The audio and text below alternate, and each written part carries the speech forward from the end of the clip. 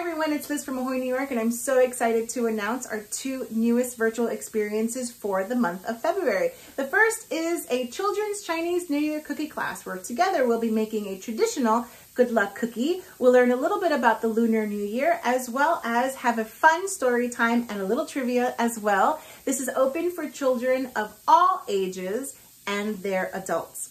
The next class is a Tuscan lunch hour where we'll travel virtually together to Tuscany uh, to learn how to make this traditional pasta dish, learn a little bit about the history of the dish, the region itself. We'll have a fun trivia game, a little scavenger hunt as well, and most importantly, we'll get to hang out, eat, and get to know each other. So visit our website, ahoynewyorkfoodtours.com, follow us on all of our social media platforms at Ahoy New York Food Tours, and let us know what you think in the comment section.